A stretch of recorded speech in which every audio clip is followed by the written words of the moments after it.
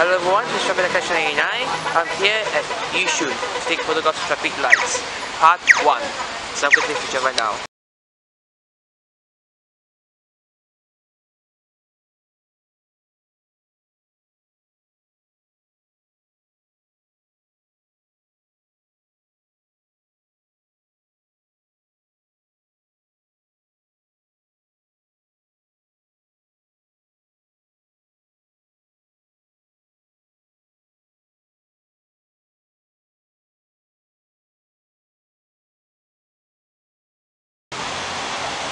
And that's the end of part 1 for taking photographs of traffic lights at Yishun. Thank you for watching. Goodbye.